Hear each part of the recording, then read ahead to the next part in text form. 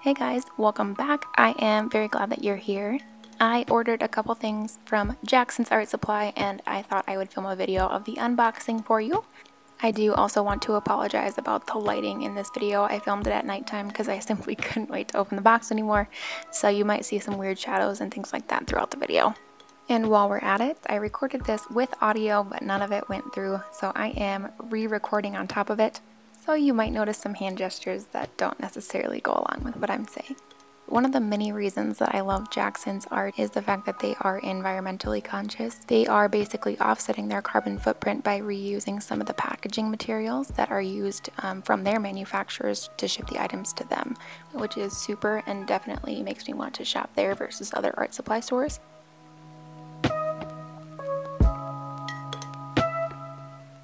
Right now I'm just taking everything out of the box and then I will go through each item individually once I get that box out of the way.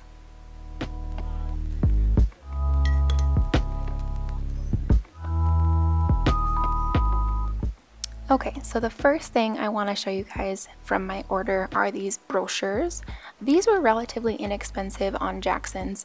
I believe they were all under $5, except for the Holbein one. That one might be a little more expensive because that is hand painted. I really like having these in the studio. I do have one or two other ones, and I like being able to look at them as references as I'm working in the studio.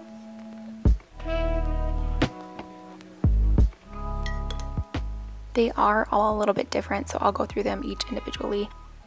I believe the ones I have here are from Sennelier, Holbein, Daniel Smith, Old Holland, and Schmincke.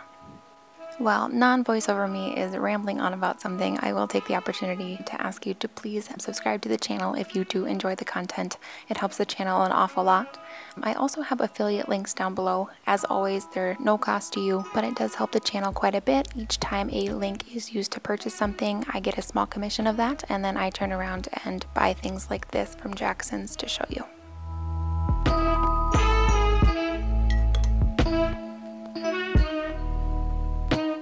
First one that we are delving into today is from Sennelier. When you open the brochure up, it does have a few pieces about how the watercolors are made and how they differ a little bit from other watercolors. Then you can go ahead and get into their printed color chart. I myself will probably cut those two pages out, um, paste them together, and put them up as a reference. I'll definitely keep that other information and store it in a binder somewhere in my studio.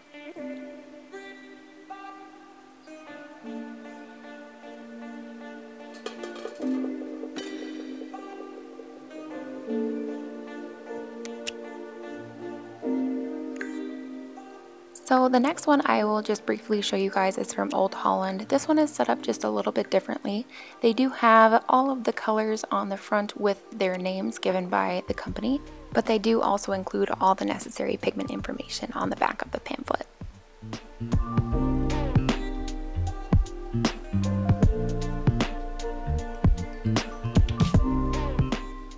Next up we have the one by Schmincke. This one is set up a little bit differently. It's more like a catalog than the other ones. This first page here shows some of their newer colors.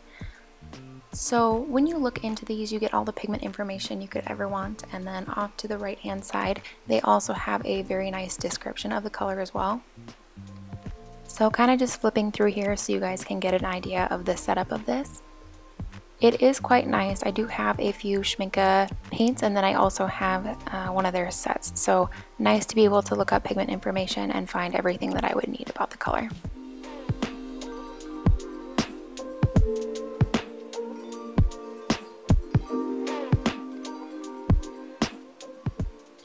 In the back of this one, they also have some really cool color information and then they also have most of their products displayed um, in the back here so you can have quick reference numbers to order sets and those types of things.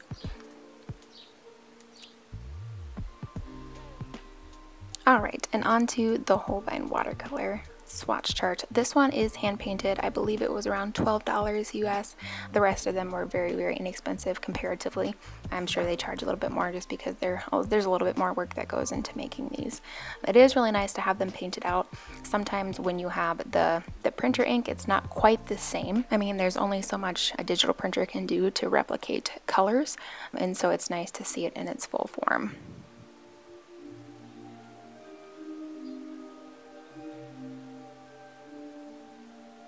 Okay, so when I open it up, it looks like it was packaged really nicely. They have a piece of parchment paper between the, the sheets so the colors don't rub off on one another. From what I can tell, they are little individual sheets that were swatched on, or I'm sure it was a larger swatch and then cut into individual sheets, um, but they are basically pasted in there for you. And when I opened this one, I was just a little bit confused. I know that you guys probably can't see. It's very, very tiny in the lower right-hand corner of this. Um, but it does kind of have a disclaimer at the bottom that printer color may vary. Um, so I am just a little bit curious. Um, I'm assuming these aren't printer made just because I know it said hand swatched on Jackson's. Um, but I'm wondering if I peeled up one of these swatches, if there would be um, like a printer paper underneath it or a, a printed swatch underneath. Um, maybe sometime I'll have to do that and let you guys know what I found.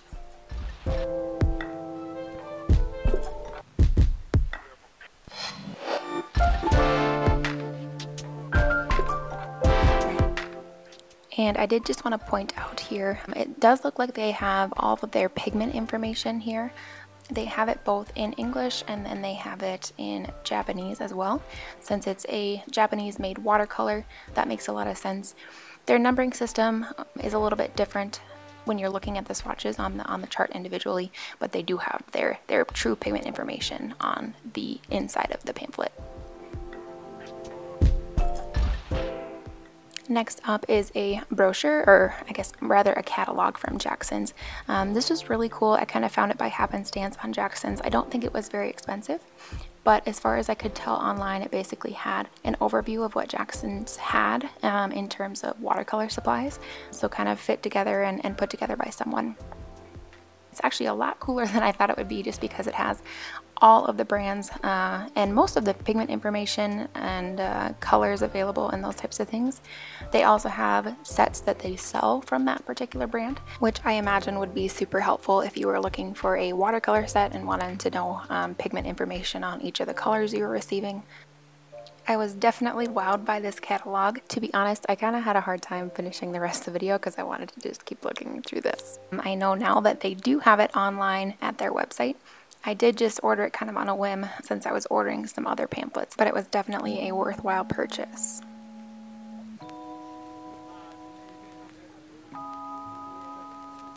Now, aside from just watercolors, they do have a lot of other watercolor supplies listed towards the back. I will say too that they have a lot of other forms of watercolor. So there are watercolor sticks, watercolor pencils, watercolor markers, they have all their gouache in here as well, so it's definitely more than just watercolors. They have different items like this that aren't watercolor that you can place with your paintings to to add something into your piece or make it a multimedia piece I suppose. They do have a lot of drawing equipment, uh, lots of pens, pencils, every single kind of watercolor supply. Um, they also have these ArtGraf, I think they're like chart water soluble charcoals. So those are really interesting. I did see those last time on Jackson's and looking at them here makes me want to, to maybe get them next time I place an order.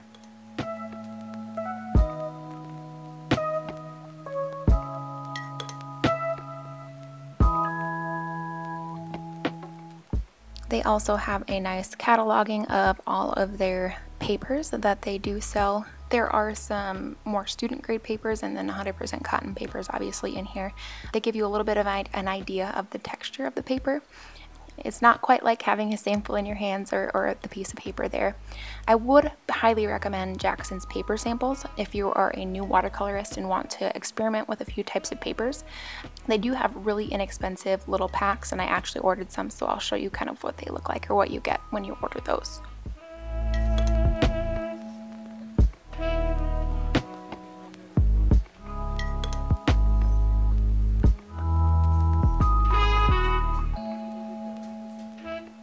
Next up we have some brushes. I really like the way that they kind of categorize them. So you'll notice on the sides in those circles, they have exceptional, excellent, good, um, and so they rank them. And I was just pointing out to that picture. That would also look really cool in a studio if you framed it. They have a lot of other things for your art studio too, so tapes, um, easels, ceramic palettes, they have a whole page full of palettes, which is awesome. And then they actually have an order sheet on the back for you in case you wanted to order via mail. I would say that the majority of us probably don't do that anymore, but always nice to have the option.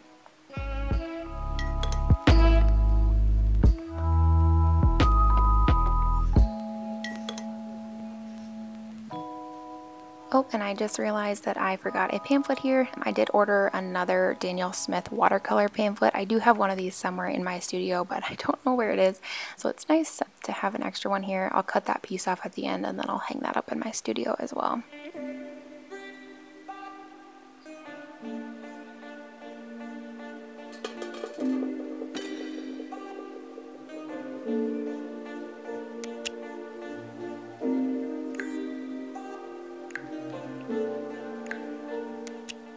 Alright, and so in this cute little box here we have a few Holbein paints. I did have a set of Holbein tubes a while back, but one of my friends wanted to try Holbein and so they have been rehomed to her. So these are the only Holbein tubes in my possession as of right now. This is the tube that caused my whole order. I wanted to try Holbein's Shadow Green. I had seen another artist use it here on YouTube and I apologize, I don't remember which artist was using it, um, but I thought it was a really beautiful color and so I wanted to try it out as well. I do struggle with greens a little bit. I do a few landscape things and it's always tough to find that right green or to mix the right green and so I'm hoping that will help on my journey with that.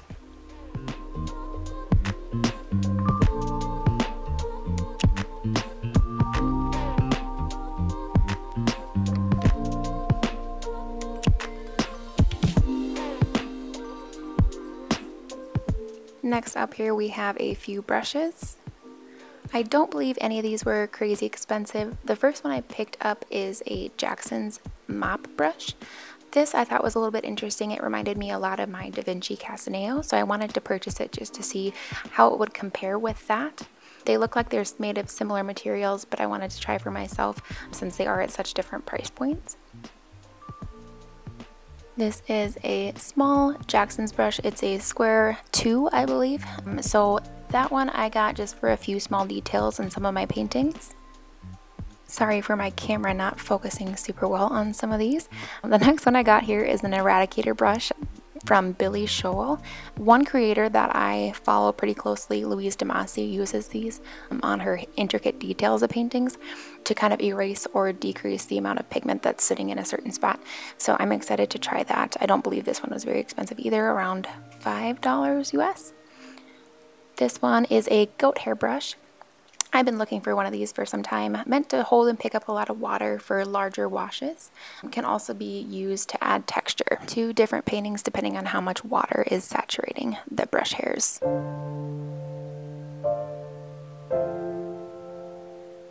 And for such a large brush, this one was very inexpensive. I believe this was around $3 US.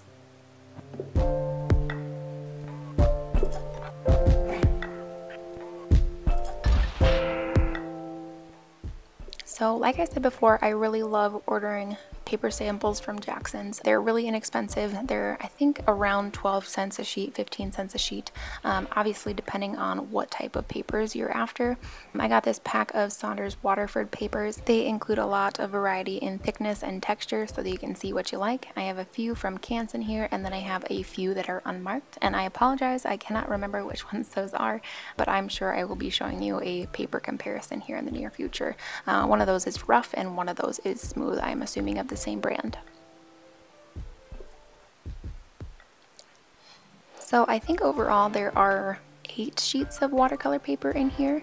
Um, so you can try it in that white space and then if you want to, you can certainly cut out that specific piece from the paper and then use that for your paper for your artwork if you're doing small, small things. The nice thing about these here is that the company doesn't put their brand on there so you can use the entire sheet. I did also pick up this Stonehenge paper sample packet. It does not only include just watercolor paper. There are papers for pastels and I assume oil paintings and a lot of other types of media. Um, it has a really nice index. It's just really nice to have the paper in your hand when you're considering uh, what type of paper to use. So definitely tough online to decide which type of paper you want and so this gives you a little bit better of an idea if they're saying 640 GSM or exactly how thick that is or the different types of textures. So it's nice to feel them and then get acquainted with As you can see, they have a gray toned or tan toned paper back here, um, and then a few others.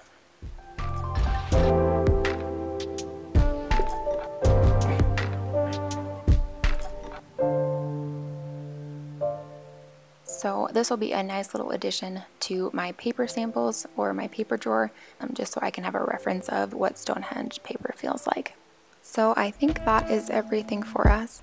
Thank you guys so much for your patience. I know that uh, the shadows probably got a little bit annoying and uh, the original audio not working wasn't helpful either, but I appreciate you sticking with me and I will see you guys in the next one.